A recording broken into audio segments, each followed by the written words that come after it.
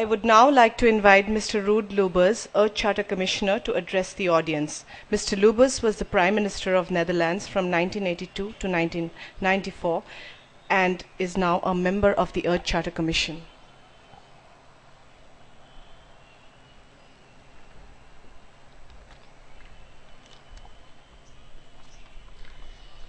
Your Excellencies, excellent friends, thank you for the hospitality and inviting me here. We are celebrating 10 years Earth Charter. Yes, that document became a conclusion of intensive consultations before that. This all started not in the year 2000, but in fact in 1992. And I was there in Rio de Janeiro, the so called Earth Summit on Environment and Development. Those days, I had the privilege to attend that meeting as a Prime Minister of the Netherlands. And I watched uh, that meeting with so many officials there was another meeting in Rio. This was the meeting of civil society, of NGOs, and of indigenous people. Why? Because they noticed that we, the formal politicians, after the end of the Cold War, I'm talking 1992, were so enthusiastic about market economy all over the world that they said to us, Be aware. The nature, Mother Earth, ecology is as important, if not more important, than economy, which you are talking the whole day. So let's go, they said, for a Earth Charter, for a ethical document. This was the really beginning that meeting there was chaired by Maurice Strong, Under Secretary General of the UN. And he got this proposal and he consulted me as a Prime Minister. I said, This is an excellent idea. I'm going to support you. So there we started.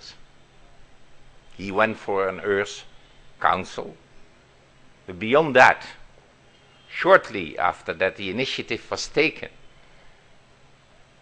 it was brought to me the fact that Michael Gorbachev, the former boss of the Soviet Union, had become president of the Green Cross and indeed had the same idea of drafting a Earth Charter.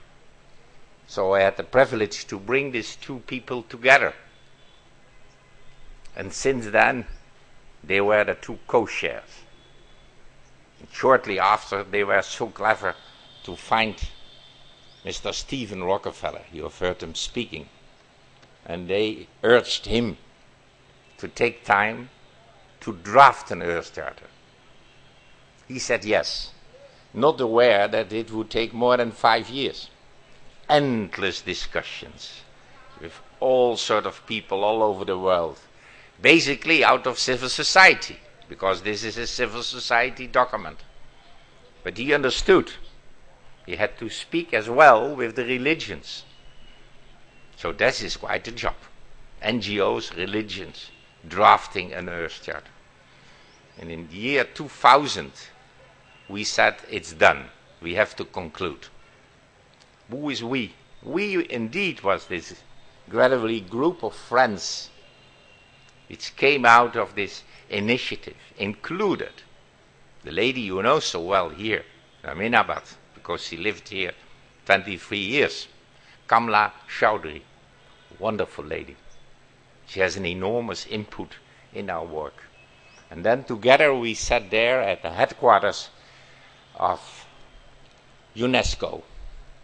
We could talk for centuries, but maybe it's better to see the result now as a result. So now we celebrate 10 years Earth Charter. Let me explain you a little bit more the context. I come from another continent, but when I think back in time, I was born in 1939. I was aware of the enormous developments in the world to overcome the colonial era after the Second World War. These were the days, 1948, that the world produced the Universal Declaration of Human Rights. This was meant to assist all the people all over the world in human rights. Okay. Recently, 60 years later, in 2008, we celebrated 60 years Universal Declaration of Human Rights. So I did an effort with some friends to compare that document of 1948 with the Earth Charter. But before I give you some of the differences, what happened in these 60 years in this world, let me tell you first that when the Universal Declaration of Human Rights was drafted, the then Director General of UNESCO sent the draft to Mahatma Gandhi here. And he said, My good friend, what do you think about this draft? And after some time, he received an answer. Mahatma wrote him, I shared this document with a woman I appreciate highly. Later, this proved to be the mother of Mahatma Gandhi. And she said to him, This is an excellent document about the rights of all individuals, very important.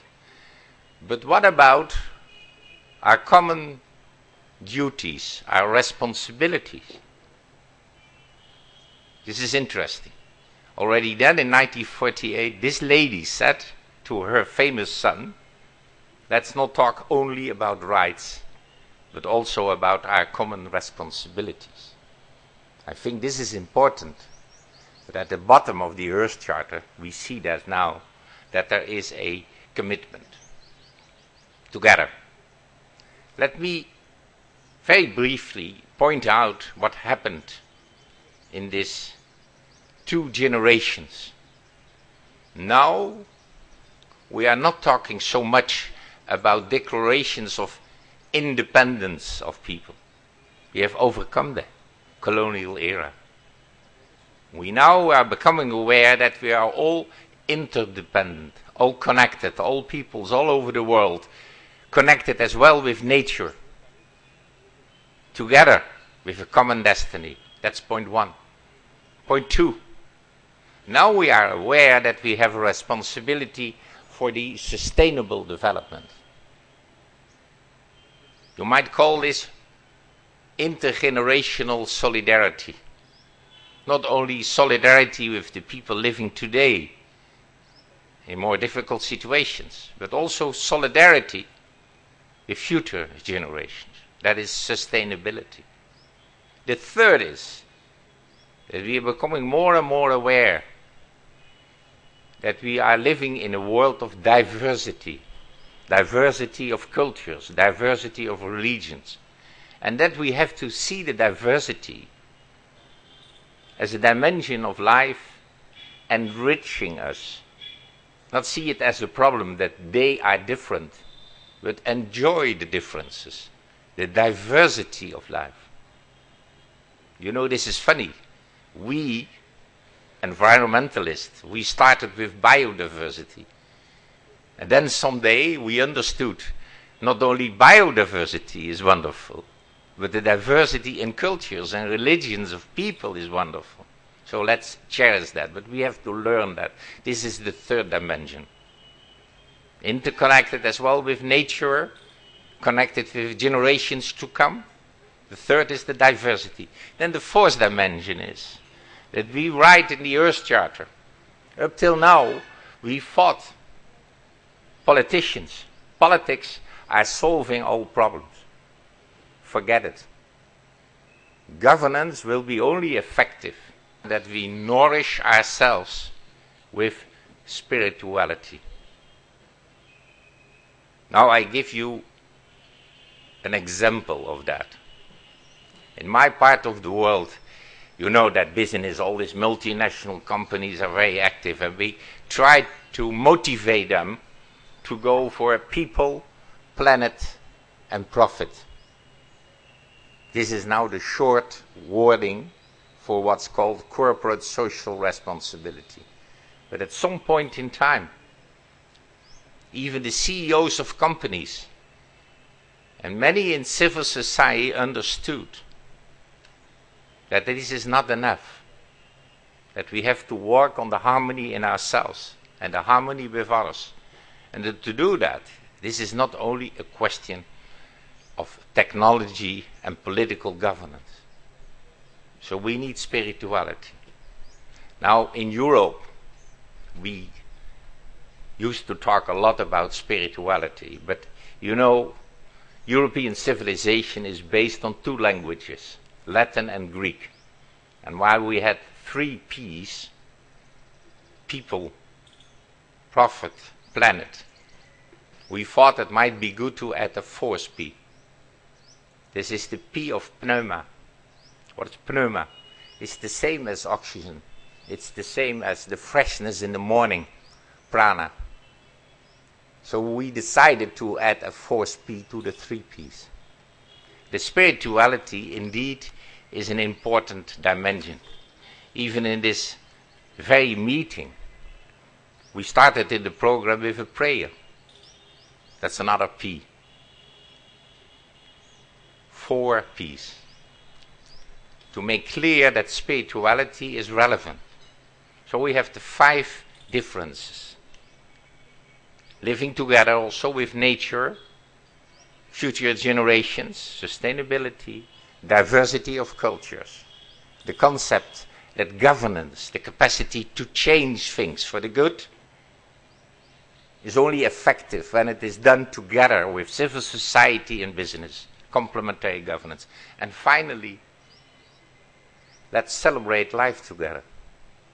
When we start with a prayer in the morning, we have ended yesterday with the wonderful music, which is another dimension of this. This is very key too. So, this is just to give you an impression how I experienced the Earth Charter. Yes, I was there from the beginning. I'm blessed. I was a long time in politics, but I spent as much time in civil society and now I have this enormous privilege to be here with Kartikeya, in the same city where Kamala lived so many years. And she shared her experiences with me. And now I know I'm celebrating 10 years Earth Charter exactly at the place where it should be celebrated, here in Ahmedabad. Thank you so much.